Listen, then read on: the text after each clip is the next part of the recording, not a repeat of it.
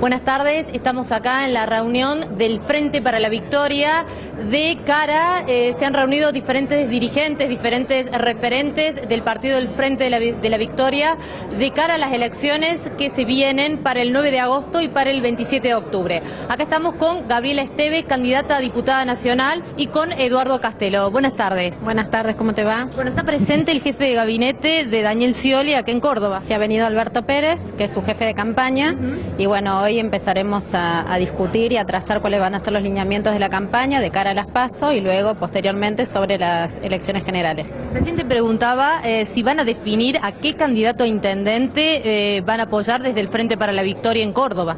No, aquí solamente vamos a tratar lo que está, es concerniente a las elecciones, a las PASO y a las generales, y bueno, por eso hemos reunido a todos los dirigentes de toda la provincia, imagínate que vienen de toda la provincia, no solamente de Capital, para bueno, darnos una estrategia territorial para el lineamiento de la campaña. Muchísimas gracias, Gabriela. Eduardo, buenas tardes. Hola, ¿cómo les va? Bueno, eh, reunión más que amplia y multitudinaria de diferentes dirigentes del Frente para la Victoria de cara a las elecciones que se aproximan. Así es, estamos convencidos que Daniel Scioli va a ser el próximo presidente de los argentinos y además es el, el presidente que más desarrollo le va a dar a Córdoba. Lo escuchaba los otros días cuando estuvimos trabajando con su equipo y realmente él plantea un trabajo de desarrollo muy fuerte para la clase media argentina, para los trabajadores, una potenciación de todo lo que es la industrialización de la Argentina, ver cómo logramos federalizar la Argentina mucho más con los derechos que nos faltan. Así que estoy confiado que Daniel va a ser una eh, gran presidencia y eso nos permite estar preparándonos los desafíos que tienen que ver con el cambio climático, con las nuevas demandas sociales, con la creación de la industrialización de la Argentina que viene y con sumar a Córdoba por primera vez en 32 años a un proyecto de país. Ya no va a confrontar el gobierno nacional o el gobierno provincial, sino que lo ha dicho Daniel Scioli, que va a trabajar junto con el gobernador electo y nosotros a colaborar para que los cordobeses tengan la respuesta que necesitan. Eh, Eduardo, eh, ¿qué opinión tiene acerca del cambio de discurso que ha tenido en el último tiempo Mauricio Macri?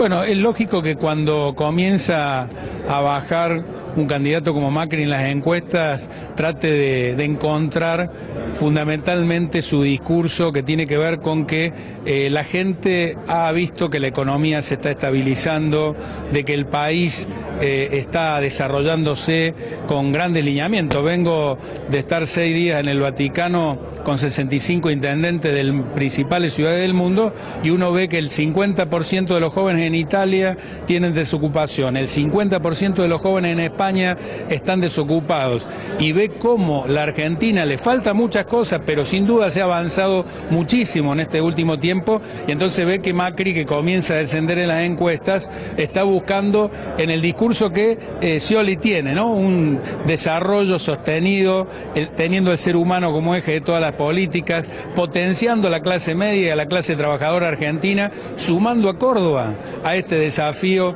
de que podamos definitivamente Córdoba y la Argentina formar parte de un mismo proyecto de país. Bueno, Eduardo, en los próximos días van a ser las elecciones en Villa María.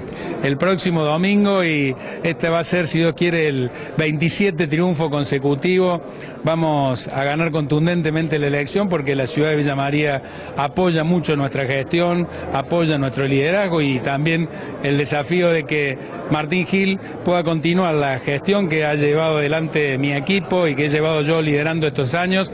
Así que creo que eh, vamos a estar también con Daniel Scioli el próximo domingo en Villa María y ganando contundentemente. Va a ser un gran triunfo de, nuestro proyecto y en mi caso eh, tener la, posibilidad de, sentir el apoyo, el gran apoyo de la, de la, gente de Villa María. Muchísimas gracias Eduardo. Lo desocupamos porque se tiene que ir a recibir a Alberto Pérez, el jefe de gabinete de Daniel Scioli. Bueno, ahí está el dato político que nos dejó Eduardo Castelo. El próximo domingo, en caso de ganar el Frente para la Victoria en Villa María, estará presente el candidato a presidente Daniel Scioli. Continúen ustedes.